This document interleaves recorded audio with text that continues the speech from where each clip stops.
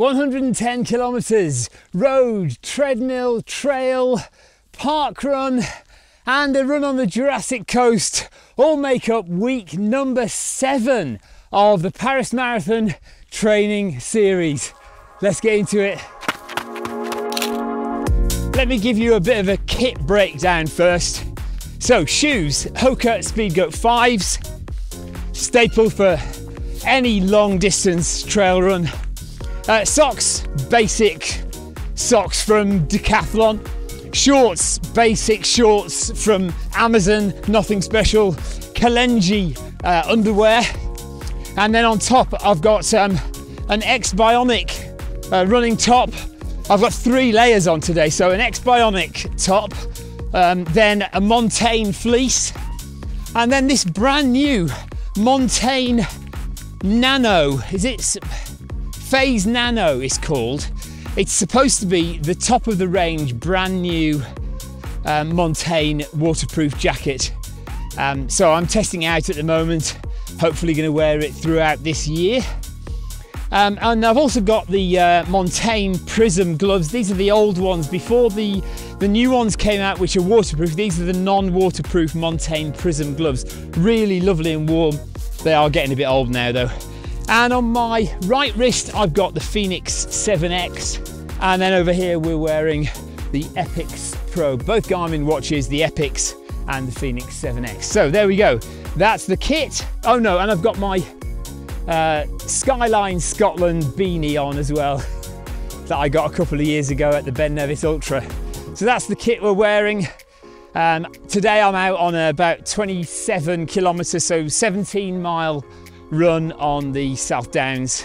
So because we raced the day before on the Sunday in the West Sussex Fun Run League in Crawley, uh, and that video is there by the way if you want to watch it, um, we, we were supposed to take Monday a little bit easier.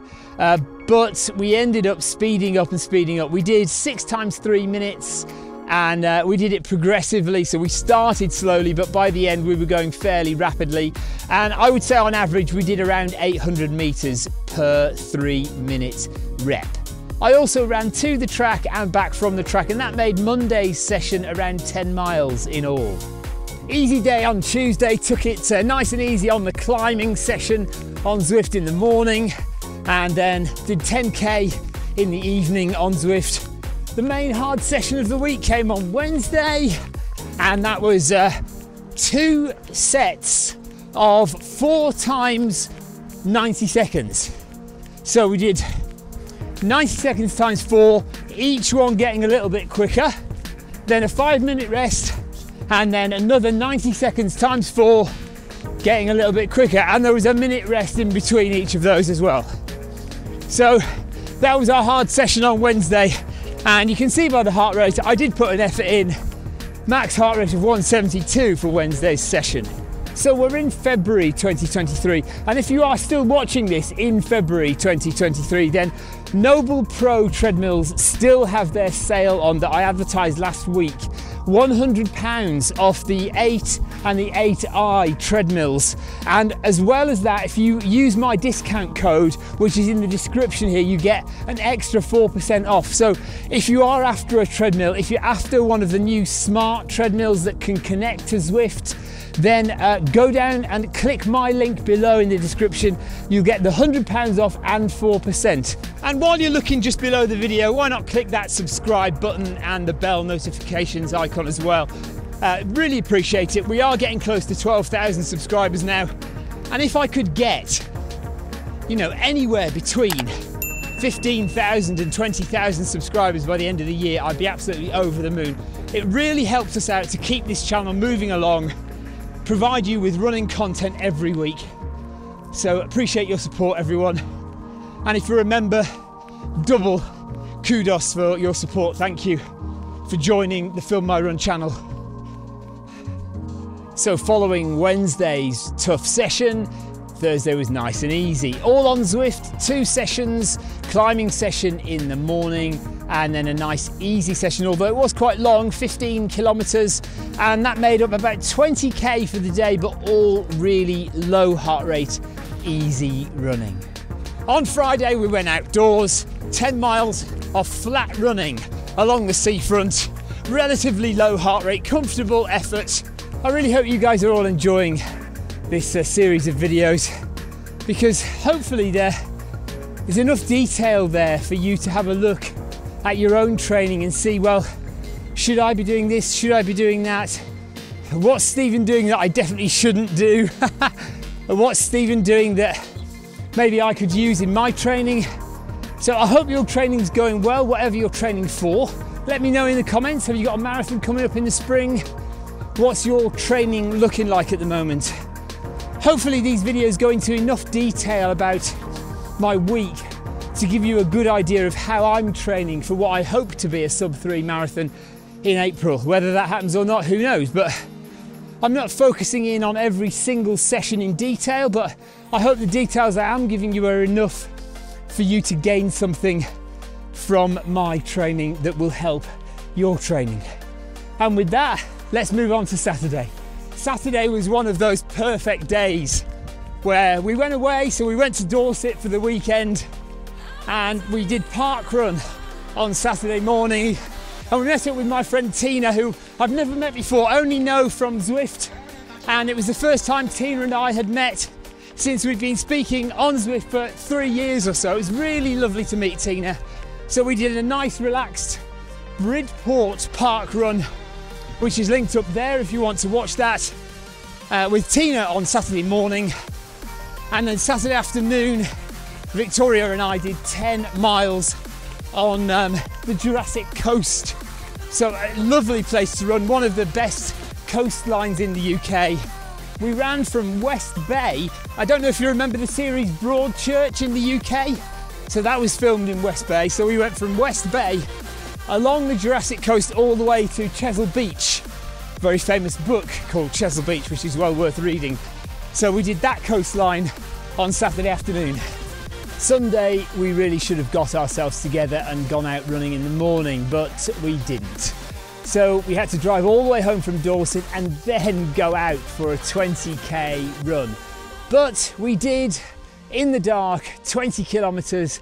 I did it as a kind of interval session, although low heart rate, so the intervals weren't very fast. But we did one kilometre on and then one kilometre off, one kilometre on, one kilometre off for 20k. So that was a good session to finish the week. One thing that did come of meeting Tina on Saturday was that she told me I needed a haircut. So, uh, got a haircut. It's a bit shorter than the last video, isn't it? so let's look at how that breaks down, shall we? 110k split between 68 outside and 42 kilometres on the treadmill on Zwift. And of those 110k, 20 of them were really hard. So I ran fast, or I would describe them as a tough effort. So, what's that? 18% of my running was a hard effort in terms of distance. In terms of the number of activities I did, did 10 activities. That's, you know, we don't include warm ups and things like that. And I also, I think Tuesday I did two sessions very close together. So I've only counted that as one session. So 10 sessions, three of those were hard sessions, interval sessions, sessions where I worked hard. So uh, that's 30%. And now to the nitty gritty of heart rate zones. So I did 11 hours and 9 minutes of running, approximately. I mean, none of these numbers are exact, okay? 11 hours and 9 minutes approximately of uh, running last week, week 7.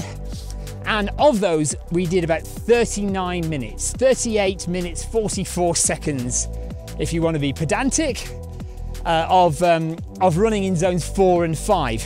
Now let's just cross-reference that with the distance that I ran. So of my 110k, we ran 20k hard effort. But if you look at the number of minutes I spent, 38, 39 minutes in zones four and five across 20k, well, if I was doing a really hard effort, I could do maybe 10k in 38, 39 minutes if I was really going for it.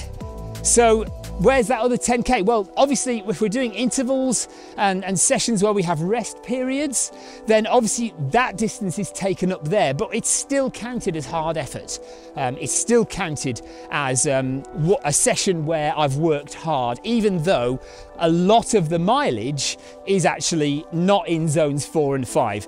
Uh, so, yeah, zones four and five, 38 minutes and that's about five or six percent, nearer six percent of my running last week was in zones four and five. If you're interested in watching any of the other videos in the Paris Marathon training series, then click that link right there. That'll take you to the playlist. If you haven't subscribed, go and click that subscribe button. We really appreciate it. And there's a change next week to the plan. We are going up to 130k, 130k, 130k 161, 161 for the last four weeks. That's the plan. See you later.